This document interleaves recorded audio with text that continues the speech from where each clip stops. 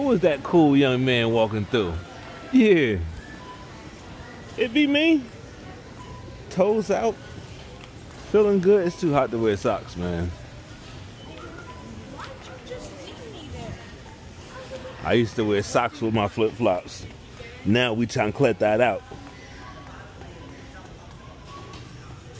Feeling groovy, baby. Yes. Come through, you just walk with the George Jefferson stride. They were like, oh, let's get out the way for him. He must be somebody. He walks like he's important.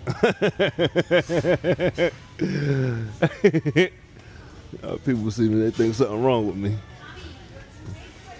It's actually something right with me.